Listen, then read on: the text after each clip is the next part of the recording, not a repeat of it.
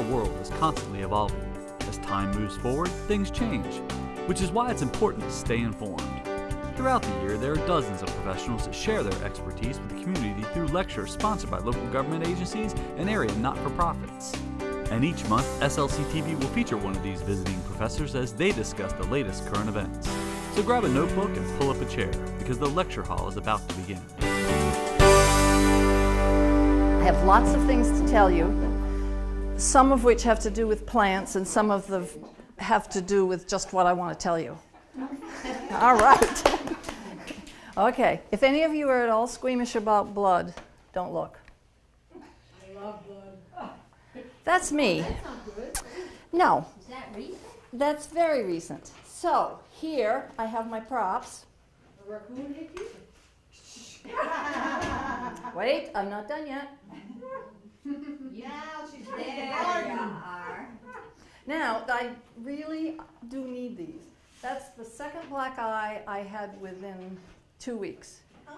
And then on both of them, when I got the black eye, I jumped up and hit my head, and all this blood came gushing down. Sounds like my husband. It sound, my husband said it sounded a lot like me. so, so I'm taking this very seriously, and I admit I haven't. I always, whenever I go to a lecture, I say, make sure you have eye protection and make sure you have headgear. Well, now I mean it. I thought about doing the whole lecture in, in uh, my lovely pink hat, but I don't have the rhinestones on it yet, so it's When you garden? Yeah. When I'm uh, do, pruning, pruning is when I really need it. I don't do it if I'm just weeding, but I prune almost everything almost all the time. But that's a, uh, the, the black eye. I, a twig ran into me, a- and then I jumped up, and a tree hit me. and that's uh, almost the truth. So today's lecture topic is uh, going to be about plants and diseases, and I wanted to give you a few highlights. You know that we've gone over um, a lot of this before, so I want to zip through it so I can make sure that I get to whatever you brought me. Now, um, one of the common misconceptions about weeds is what? Anybody remember? Nah. Uh, is that anything you don't like is a weed, and anything you do like is a flower? That's not true. Weeds fall into three categories. They are uh, broadleaf, grass leaf, and sedge. And those are the categories. Now, broadleaf is very big. It covers 90% of your weeds. And the reason that they're weeds is because there's something about them that bugs don't like. Whether they have a waxy leaf or a hairy leaf or it doesn't taste good, something. So they don't have any enemies in the bug world. And generally, they're not native. Yes, but they do. There are a couple that uh, technically they can't be classified as a weed if they're native, but there's one like the the blue ground flower. It's native, but oh my goodness, does it spread? And I have some here. I'll show you what that is. And and I'm a natural enemy. Promise you. And you, you really do need to, to weed because weeds are stealing the nutrients from your other plants. Even if you think that they're really beautiful, they're not. They're just, they're enemies. So you need to get out there and weed. Yes. Okay, these are just a few, and these, I, I picked these as soon as I could before I came here, but they're all withered and ugly looking, but that's okay. Can't even find, uh, this little guy is Asiatic hawksbeard, and it has a pretty little yellow flower. Its uh, enemy is slippery. This uh, chamber bitter, that has it has little balls on the bottom of it, and that one is bitter. See how they name these things? Isn't that clever? Okay, these are um, everybody's favorite. They're, the the dollarweed is a, another broadleaf, and dollarweed is in everybody's lawn. And the thing, what can I do to get rid of dollarweed? Mm, nothing, because you can pull it up and you can dig it up, and then when it gets wet, they'll come up again. Somehow the seeds are in the soil, they're brought by other critters, and you're going to have dollarweed if you have wet. Now, this other one, uh, dichondra, it, looks like a dollarweed, but it isn't. It's a different shape. It's a little bit more heart shaped. And it has very similar characteristics, so it doesn't really matter which one it is.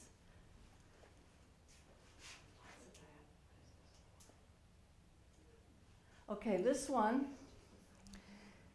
This one is, uh, there's the hawk's beard, beard, and this one is the paintbrush. The little purple one, really pretty little flower. Get rid of it. And this one, I thought this was going to be magic because it's got a nice stalk, and I thought, wait till it blooms. Ugly as sin. that is the purple cudweed, and it's a great name for it. And it sends out thousands and thousands of seeds, and they all look like that. So you don't want it. Okay, now we're going to talk about grass leaf, which guess what? Okay, this is a trick question. What kind of leaf does it have? Grass leaf. Now, when you have a weed and feed, um, I'm beginning to feel like I shouldn't have had that cup of coffee before I came, but I did. Um, when you get a, a, a weed and feed, don't use them because you have to spread that over your whole lawn and you're feeding things, but you're also putting weed killer on things that don't need it. And here's the thing that they don't tell you about weed and feed is that it's not as selective as they would like you to think. It, because it, the idea behind it is that it slides off the glass, grass leaf unless it's wet. Oh. And then it sticks. So you're putting weed killer on your grass. Oh, you've heard that before, haven't you, Lynda? I- but these are two carpet grass, crabgrass, It's green and this is sedge. And if you can see, um, I didn't bring my machete. Last, last time I had a lecture, I had my machete, and I pointed to things with it. This, I'll, I'll use a gnarly old root. See these little buds right here, little flowers? They're little green flowers. And that's the sedge flower. And the sedge is greener than the rest of the plants in the garden. That's how you can tell it. it and if, if you pull it up and feel it, it has a triangular base. It's not round. So, but you know, if, if it's bright green and the rest of your lawn is lush medium green, pull it up, get it out.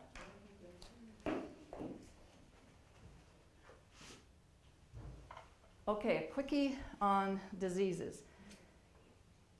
There are three, only three kinds of diseases fungi, bacteria, and virus. Fungi is 90% of the diseases that you're going to encounter.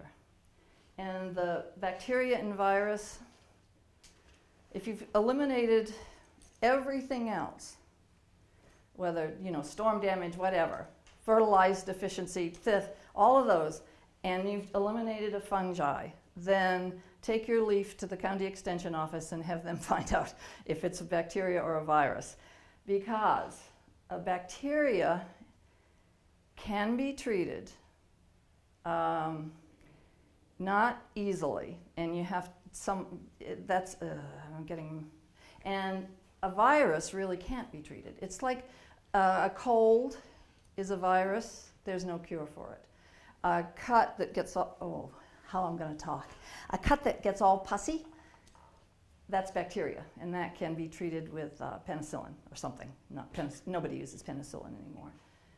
So we're going to talk a little bit about fungi. And I picked, this is so exciting, I picked a leaf off the hedge out there. Oh, not supposed to take that out. I don't have it. Okay, I'll pick something else.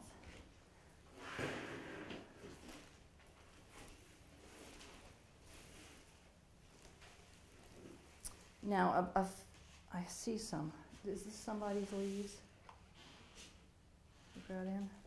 That's my rose, off my rose bush Off your rose bush? that I just bought. Ruh-roh. Where? From Jackson Perkins? Okay. Okay, this, this is a, a fungus. And this one is a little cheating because it's not telling you the whole truth about itself.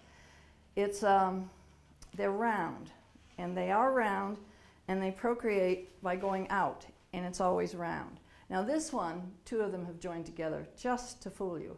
But the thing that tells me that's what it is, is this yellow halo around it.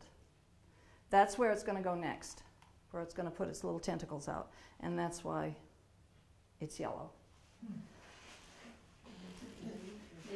Yes? you see that baggie over there with Mhm. the green, um, with that one there, that's the one I just bought, so that's a fungi? No. Should that be on something you just purchased? I- I would take it back. Well, I can't go to Oregon, but. Yeah, you have Jackson some. Perkins, I mean, they're. Right That here. is a fungi. Yes, and you can see the back. It shows its yellow color a little more. It's just driving me crazy, I, I. Is that what did it? Yeah. Oh. And that's a short walk. Um, you know, I- here, here we go. There's, if it's really getting your plant, then you can get a, a, a copper sulfate spray and sp- spray the top, spray the bottom, and get it, get it. But they're so common and there are so many kinds that if it's not really a huge problem, eh, let it go. You know, I, I took some classes at IRSC, and one of the things that they said was decide whether you're a homeowner or a golf course owner. because it's pretty easy for me because a golf course, you know, they're playing a lot of paying a lot of money to play. So the standards are different. They want nothing but their grass, you know. Every blade is beautiful and mid-green and perfect, no weeds, no nada. And but your house you can take a little liberty. And uh, I think look at your plant. And if it has a lot of fungus, then you of a fungus, then you want to get rid of it. But if it has one leaf, pick off the leaf. Cheat a little. You know, so, so like if you have that, I live in an HOA, so these all started out like really nice. And then I noticed that people down the road there have hibiscus also, and they're, and it's just loaded with that stuff. So. That's a is it- problem. Is it just a, a thing that's happening down the, ro- I mean, to everybody, every neighbor's gonna get it? Crapshoot. Um, it's not a good thing if your neighbor's plants are loaded with this because it can be airborne. Um, there's not a whole lot you can do about it if it's on somebody Well, I've been else's over plant. there shoo- shooting her plants with stuff too. Here you go. Okay. You know, it's- it's like, uh, I don't want it, you know? Oh, of course you don't. Uh, It, you know, I don't. I don't know many people who go out on the street and say, "Listen, can I go into your ra- yard? I see you have a fungus. Can I go get one? Take it home." Um, that's the thing. You know, whenever you're pruning, and you know you've pruned something with a fungus, you go and you clean your tools, Yeah, and that's why. right. You know, I, I, I use alcohol and I sit the little. s- We'll share if you want to share with everyone, or pay attention to me. Um, now I forgot where I was going, so you might as well talk. Bleach, yes, or um, what's the other one? Bleach and Rubbing alcohol? rubbing alcohol.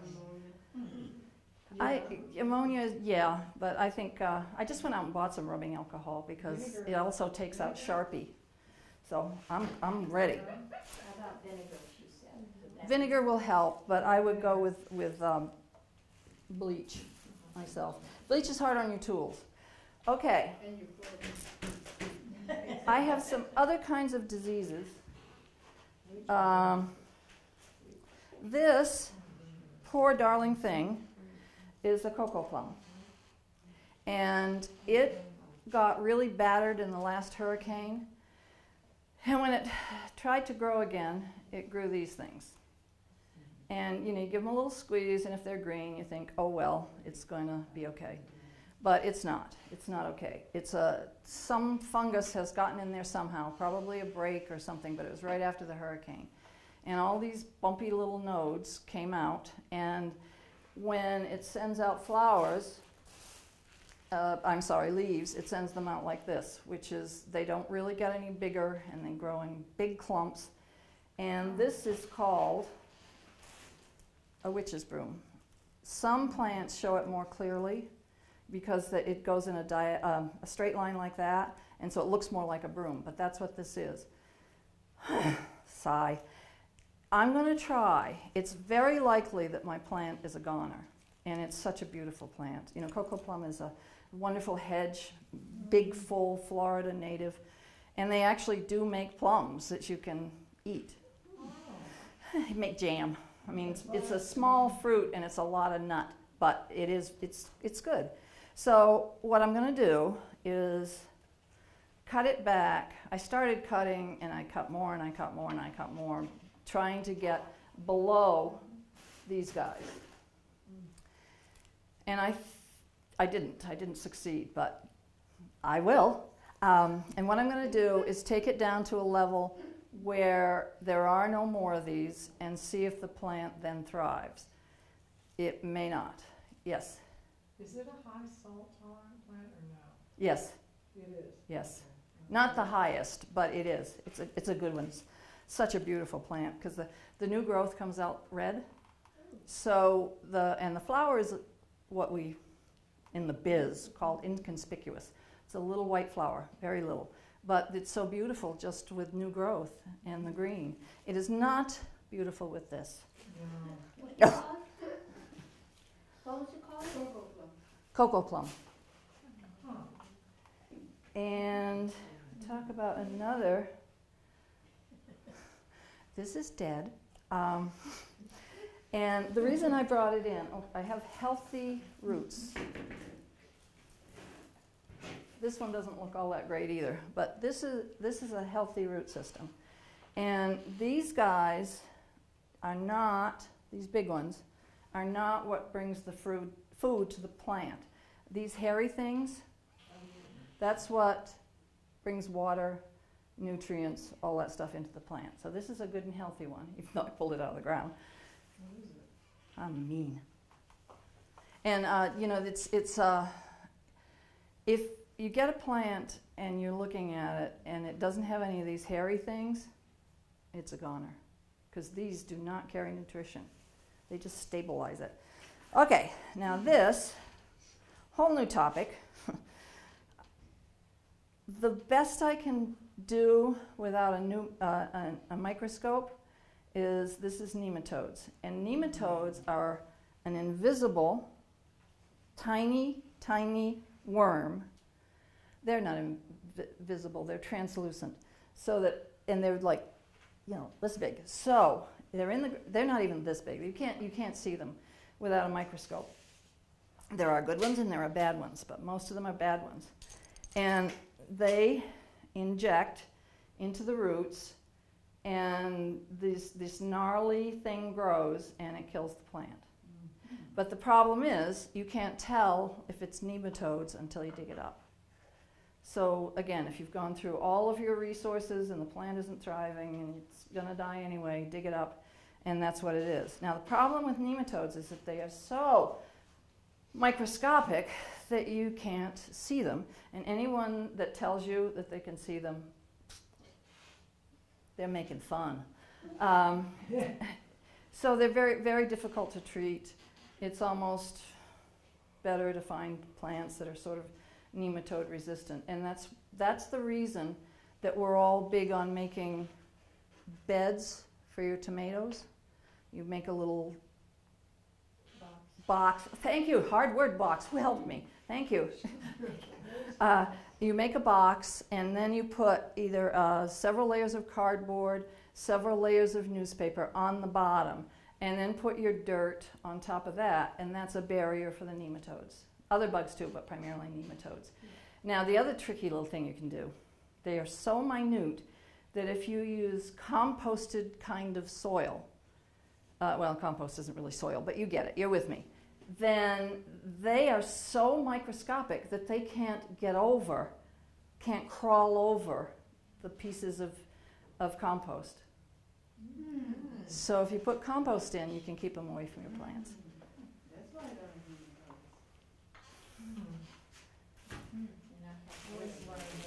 Showing. No. This I brought in just to show you.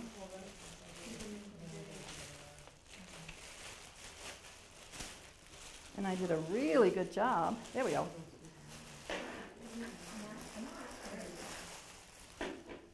This is grass. Oh, that's, That's that's true horrible. grass. Can't get rid of that. Well, the only way that you can, you can spray it and pull it out. The only good thing about it, I don't know if it's even a good thing, is that when you pull, you get a lot. But that, you can see how it spreads and goes out, and this is something. And it goes deep, huh? Uh, no, this one doesn't particularly. It can. Yes, it gets taller, and it, you can see the, the little roots here. This is not very old. That's the reason that I brought it, because I, this patch where it was, I weeded about, And you know what month the ago. problem is, when you pull it up, this little it with the, s- the spear on the No. bottom won't come. Right, Yeah, and then it that's right. sprouts again. and then it just says, oh, thank you know, for stimulating me. this and Yes. this, Yeah. Yep, you have to get your trowel and go for it, because then it will say, um, it will say, gee, thanks for the stimulation. You aerated my soil, thank you very much. And I will thank you by growing more. Yes. Okay, I brought in some, some palms here. I've done this before. And um, this one, poor darling. I love palms. I, I could talk all day about palms, but don't worry, I won't. Uh, if the center is still green, you should leave it because it's still getting nutrition. It's not like a maple tree because it has it, it can get very very tall. Like my queen, I think is I think it's probably 50 feet tall now, and i- if you look at the top compared to how high it is, it doesn't have very many leaves. So you want to, I, I, I don't get up and get my leaves on my queen 50 feet in the air. I promise you, I have someone else do it. No, no. I would wear my hard hat if I had to, but I get help with that because I'm not going to carry a saw over my head. I'm not. Remember, you're not supposed to, right? Everybody got it? So this much green is still providing nutrition to the palm tree. So you don't want to cut it off if it has this much. Um, this, poor darling thing, this is battering from the hurricane. And I have my queen, she's my pride and joy. I know, queens are dirty. Why do you want one? I think they're pretty. I like them. Yes, they are pretty. And this one had uh, a boron deficiency, which when a boron deficiency, well, I didn't have any. Oh, this might be. I don't think so, though. Um, a boron deficiency makes all crinkly kind of leaves. They're stunted, they're crinkly, they're, they're uh, not very attractive. Uh, Does it happen with all kinds of palms? Also, It the can. Palm or something? It can. It can. It, uh, that, what, the reason that I started that sentence or that tirade was that after the hurricane two years ago, my poor palm had a huge boron deficiency. I mean, it, everything that came up was all gnarled. And I figured it out and I treated it, and the new growth was pretty good.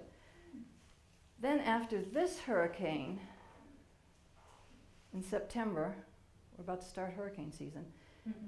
a whole layer of my palm tree got it again. It got hit again. And all of those, all the way around it, for I don't know what, how high it is, probably 10 feet, they all went into shock and turned brown and died. But now it's still growing, it's still got a tuft, it's still, you know, the heart is still good, and it's still got lots and lots of green. Now, I'm not sure which hurricane, to be honest, it came from, but it's definitely a year or two years later that I'm seeing it. And so you've got to take a look at them. Okay, Any questions so far? Lynda, isn't, um, isn't, uh, boron also, the, the center gets the center stalk gets yellow, or is that, no? No, it's crinkly leaves.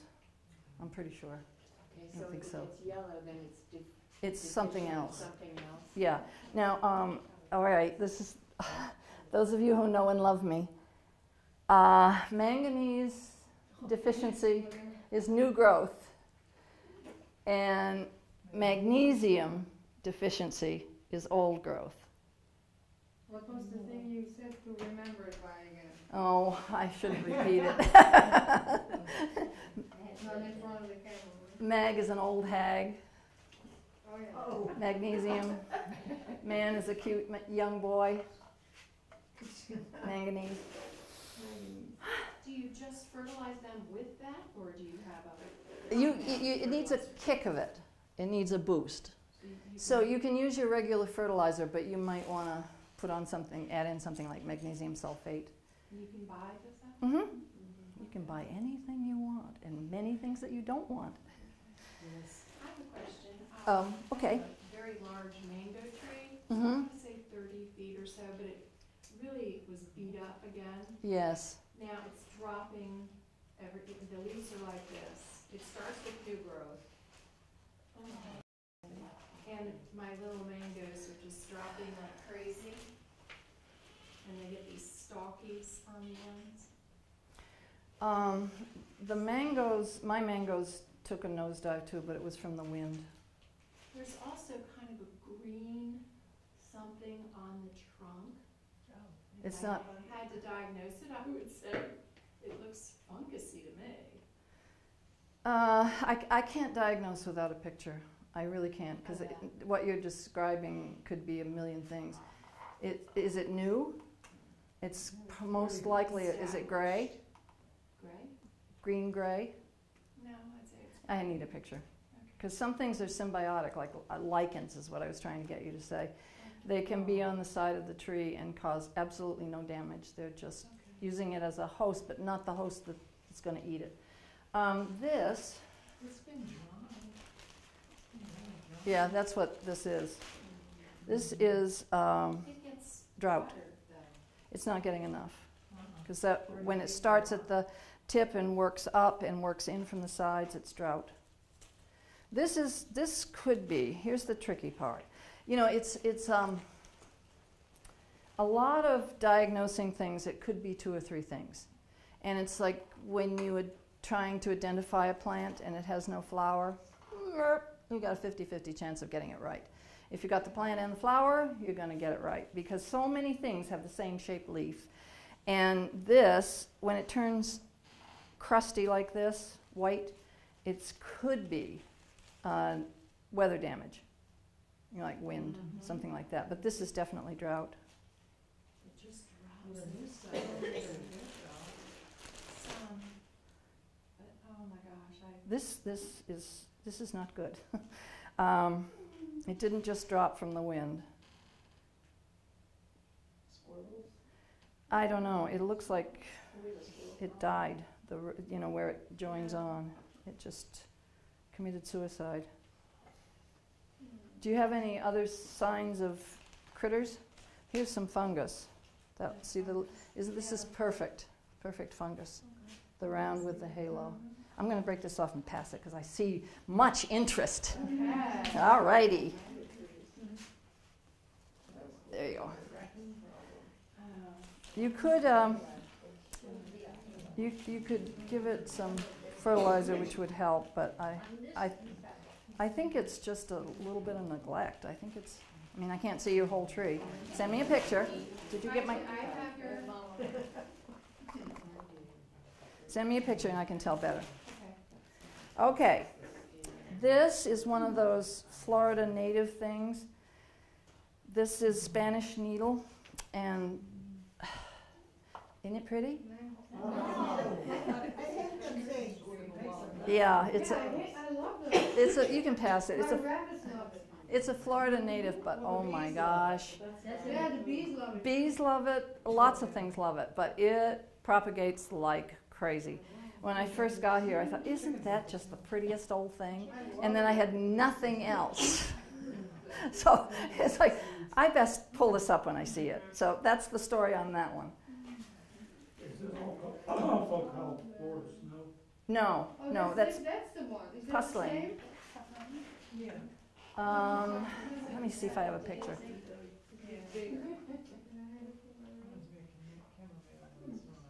Oh. We can talk about it. Um, the Florida snow is um, pusley, and it's that's what it is. And it's that also is very difficult to get rid of. You uh, But it makes my yard look so good. Um, it is, I think it's pretty, but it's another one that spreads absolutely like crazy, and it's called snow because it's white, and it comes out. Oh, that's the. Yes, it's beside the road, all the ground. It's just a little purpley. No, that's not it then. I'll come and see. I'll come to your house and diagnose for you. Okay. But, what's Uh, the, but that's the same, right? The bigger It's piece? not in full bloom right now. No, no, this that's the uh, y- this is Spanish needle. Yeah. Oh, that's That- not the same. Yeah, no, it's not. Oh, that's better. I didn't have any, uh, so I didn't bring any. Um, the trouble, it's a problem, child, because the best way to get rid of it is to dig it up. I know, I know. And then you look at your lawn and say, What, Really? Ah. What lawn? I'll be digging up my whole lawn. And the other, and it's also not, not easy to spray anything on it, even, you know, our homemade Concoction? Is- It- it- it'd So, kill it. the other option is to mow it very short, one week. And the next week, mow your grass, what you're supposed to, three and a half, four inches. And the higher grass will crowd out the pusley and kill it. But it takes some diligence, and, but it's the best way if you, if you're not gonna get down on your hands and knees with a trowel and dig it all up. That's the same thing with dollar weed. It's like I had this gentleman come up to me at a booth that I was sitting at and said, "What can I do about dollar weed?" And I said, "You can get down on your hands and knees and dig it up." I'm not going to do that. And I said, "Then nothing." I wasn't being a smart aleck. I didn't think, but apparently I was. I heard it was edible. Uh, pusley is. Anything green. Did we did we see this? This is a, a good example of uh, More fungi. fungi. Fungi. Do I need to wash my hands now before I touch my plants? Wouldn't be a bad idea. Um, I think. Oh, this, this, this is such a pretty little plant. This is. A. It's a vine, and it, yes, it is. It's Is uh, that poison ivy? no, no. It's uh, has a yellow flower, and it, it just grows absolutely like Crazy. roots, they can become like. And all of a sudden, you know, my senior head is forgotten his name, but it's uh, it's an incredibly invasive weed. Yellow flower, get it out, get rid of it. Oh, here's a bug for you.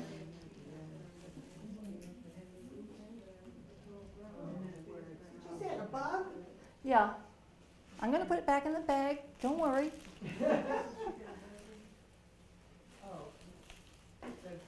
Um, these, to the best of my ability, and I tried my darndest, is a.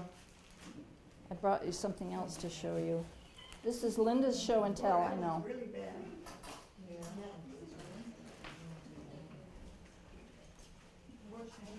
This is the part that you edit out. Well, I meant to bring you something. Uh, is um, mealy bugs, but they're very. I know how they, I know a horrible beast, they eat my Everglades tomato plant basket. Okay. Um, questions? I have one, Yes. but it, it's maybe not related, but I have a little mango tree.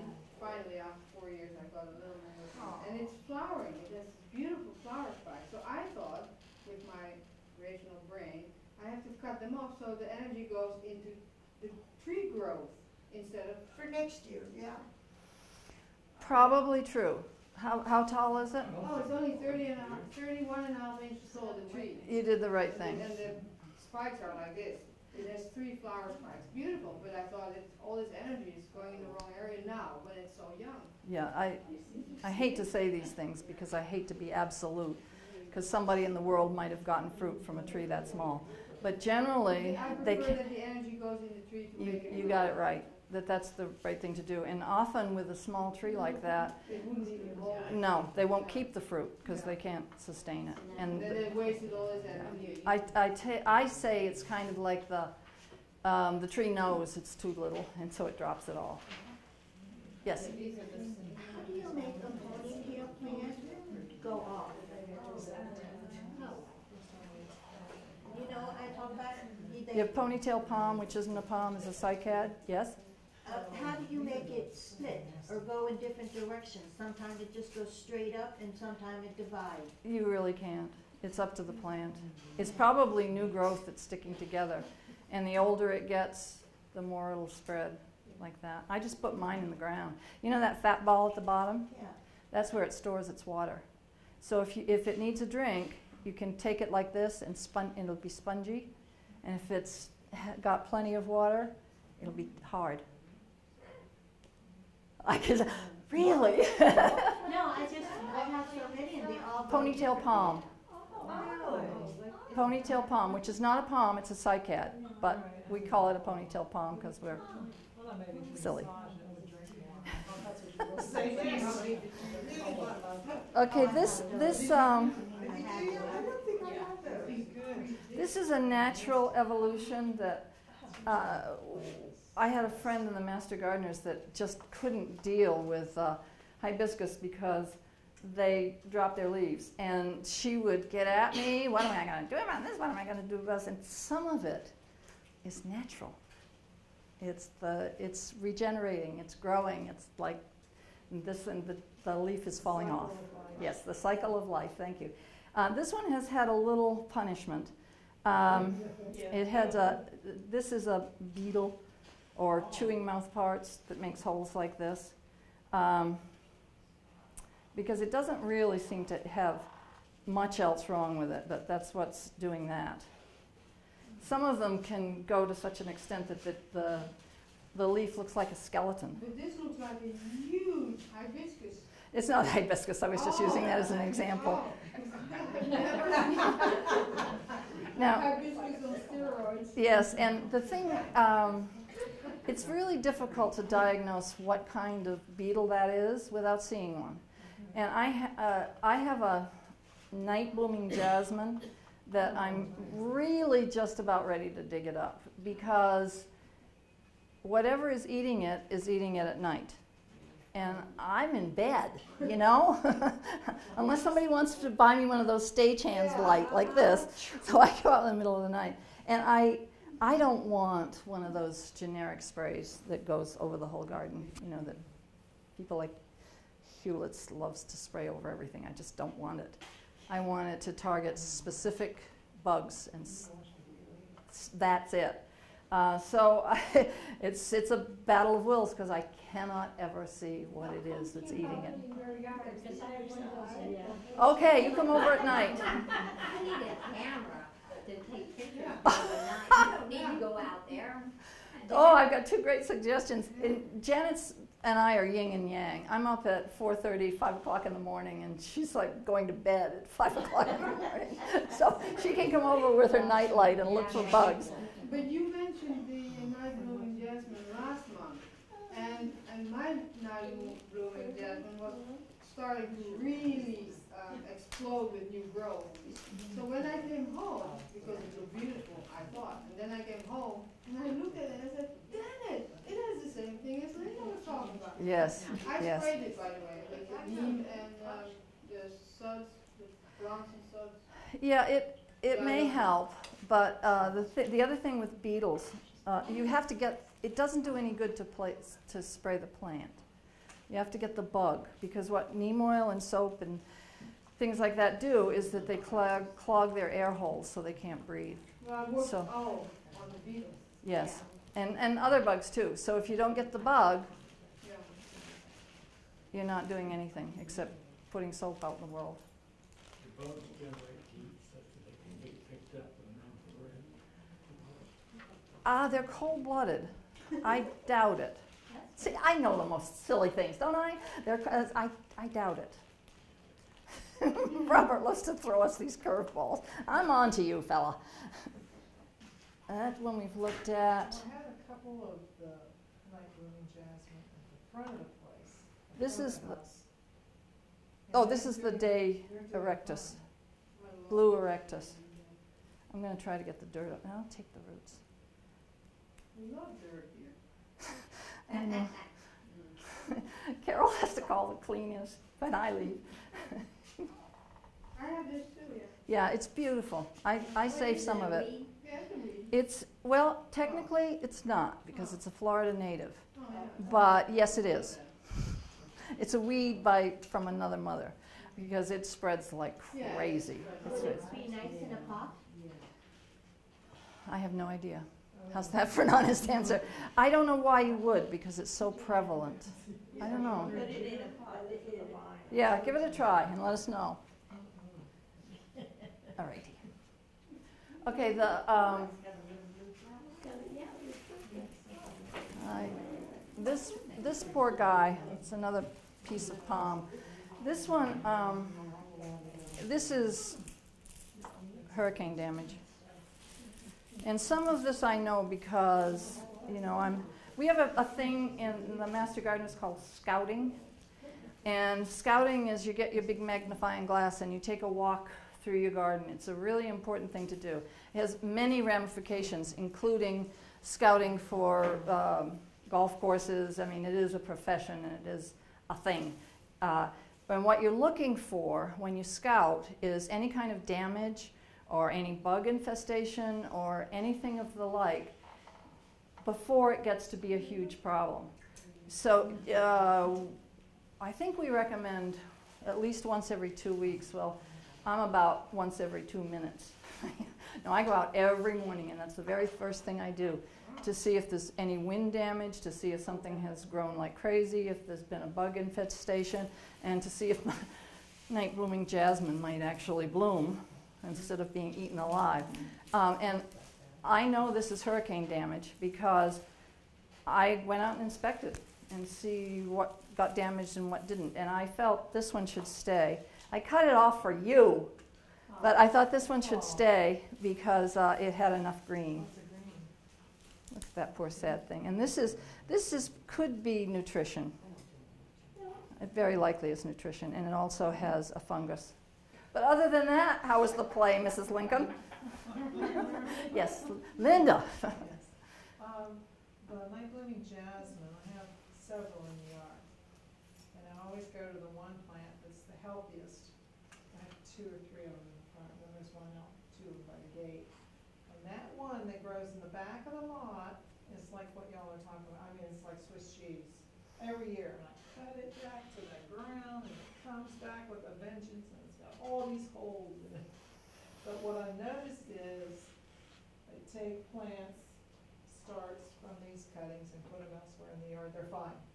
I would Mhm. never take anything from that one, but I'm about ready to, but the That's rest of them are doing fine, far as we speak. that plant that you're in love with has built up some sort of natural immunity to the bug that that is Yeah, devouring the several of them others. that do. know, Every we- once in a while, one of them will get a little bit, and I'll just cut it back and Yeah. fine. That's what it's done. Um, like, like you, I'm looking and I they're too far apart to talk to each other, right? Yeah, one's in the front, they're, the ones that I'm talking that are good are out in the front of the yard, and then the other isn't. but- Oh, and the ones in the front can talk to each other. Right. Yes. Hold up. Yes, and also, um, this is another area that I've been digging into about, um, I read an entire book on beech trees.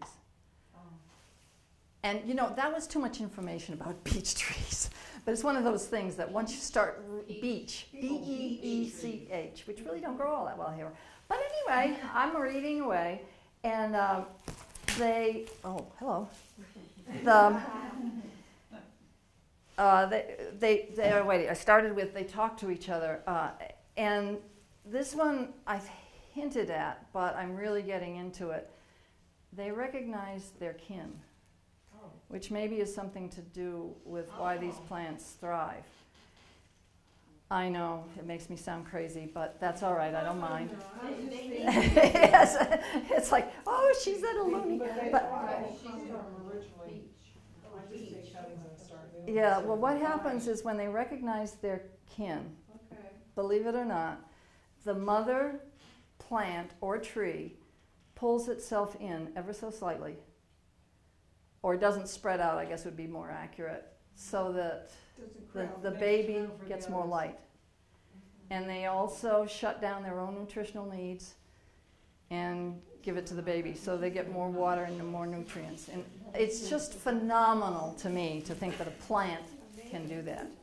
It's just like, it's almost beyond me. I, I read this stuff and I go, is that what that said? And I read it again just to make sure. So I see a bag here. And I have, You have one. that is off kind of my garden, and my tomato plants like still look like that, and that happens to be lima, my first planting of lima beans. Wow. Um, I don't know what that is, but it's a mouth chewing beetle. This is could be thrips, and there's also some fungus in there. What should I do to it? Um, I'm not going to say anything rude. Um, I, I do use the neem oil and soap and water.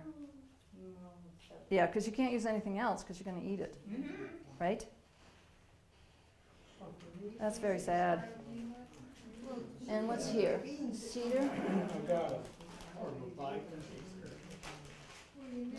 only occurs on the north side. Okay. Only occurs on the north side. Is it in the center of the plant or is it It's on the outside. outside? It's probably wind damage. The other, sometimes it can be a fungus that will make it look like this, but I would say if it's only in one place and only on the north side. What do you think, Kate? I think that's bean rust, Bean rust Yeah. fungus, yes. yeah, because you're coming towards the end of the veggie, so things are looking kind of a little rough, but Yep. they leave it. That one, yeah, on one side. I think it's got to be weather. When- Is it soggy on one side? How's your soil, you know, like, is it really s- wet soil on one side versus another? No, So it's not sitting, yeah. Do you have a neighbor that lets his dog visit that Yeah. side? That'll do it too. Yeah. Tricky doesn't go on that side. All I had a neighbor that had to throw the dog over across the street every day, and I caught him, I was like, "Look at how it's on my plant." Yeah, this is, um, this is a, a goose from Japan. mhm. that's fungus. Yep. And this is a true live, Quercus virginiana. Well, this, even though, this, I don't think this is drought. I think this is fungus that's coalesced. that There's several of them have gotten together because of the halo. I think that's what that is. And over here. Okay? Um, I, rust. Thank you, Miss Kate. Because I brought in some rust for you. This is um, a flax uh, lily. Flax. Yeah. Flax plant. Lily is not right. And that is, uh, it's a fungus, but it's, it, and it isn't really rust, but that's what it looks like, so. And this is our beautiful friend, the leaf miner. Oh, And- Oh, yeah. This, this is not worth passing around. It had so many diseases that I thought, oh, I'll take that one because it's got so many. But now it's just like, the, it's got some beetles, it's got some thrips, it's got some drought. That's how? Yes, You have a lot going on there. I do, I do. Okay, now the leaf miner. Here's the tricky thing about a leaf miner. Rust. Rust. Is Only it doesn't really- watering it, Um, or the sprinkler? Those, they get it. It's like the um, plumeria. You know, they, they get it. It's, it. it's not getting any more water than anything else, but they're sen- sensitive to it. Okay, this little devil is called a leaf miner, and they're usually a moth, and there are several kinds, and they go in between the layers of the leaf. So that's why it's, and you can't get them. Because by the time you see this, they're gone. They've already grown up and gone. The only way you can control leaf miners is with a systemic wash. And that's the um, a bug killer that you wash into the soil. Um, because if you spray it, you can't get it because the guy's in there. You just that's the only way. And you can't do that if it's a fruit tree, because it's you're going to eat the poison. It'll go into the fruit. So if you, I have billions, bazillions of these on my citrus trees, and I just picked them off and said, "So be it." Might be in there. Might be in there. It's not, it's not. Okay, that's about what I have to say. Yes? Oh, a good one. I've seen it, so. Chronic infestation. Been using neem on it. Are they awful?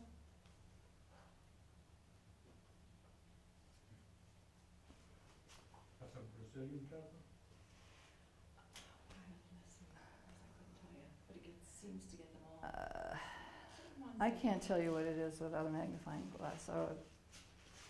gets, seems to get them all. Uh, I can't tell you what it is without a magnifying. Yeah, without a microscope. My birthday is coming, I'd like a microscope. Oh, we should just remember, you know what she's got here is mummified beans. Yep, That's a good one. yep. You've got one, well, Lynda will tell you. This, this is, this is, um, you- you're doing your job. This is, you're, uh, this is very good news. And I, thank you, because I didn't really recognize. Oh, no, wait, I'll tell you at Christmas time. Um, mummified aphids, dead ones. Ah, you've gotten them. So we did a good job. So when you say soap and water, if we do neem first, then you do soap? No, you mix it together. And I, I'm not as crazy about neem oil as some people are because it, and, and any kind of vegetable oil will do the same thing. It, it, it does make things slippery and it does clog their air ducts. But I'm a, I'm a big fan of just soap and water. A Quarter of a cup of, of uh, soap, not Dawn, not deter- detergent, just plain old soap. And um, this, I'm high on joy because I read on the back that it says it's an excellent surfactant. Now, surfactant is the ingredient that makes it slippery. And I thought if they knew the word surfactant, they were okay with me. Because that's a gardening term. And the other thing is that it's biodegradable. So joy's a good one. Uh, neem oil, it's going to be the extra kick, but I don't know that it's. Before I did neem oil, I was reading oil, so I used, um, Any kind of oil. Okay, team. Any more questions? So it's a quarter cup of joy and how much water? Gallon. Doesn't take much. You could even probably do less than that, but that's easy to remember. And then you have to spray it off the My neem, neem, because those are really, some sort of parasitoid, either wasp or lacewing has come in there and eaten your aphids, which are. Yes, yes. So, yeah, I think we both, we need to get our microscopes, because you can see those under, they're really cool. Oh, wow. They're Yes, case of yes. Aphid, and it's dead, yeah. It does kill the leaf, the leaf does die. I don't know what thrip is. Oh, thrips. Um, I don't know. Maybe I did. This was just supposed to be a launching off where I could talk about things, but maybe I put one in. Oh, no. Uh, thrips is itty bitty, really tiny. I'll, I'll show you one. I'll look it up on my phone.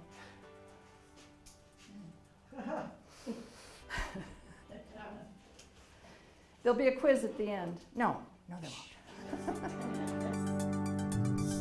won't.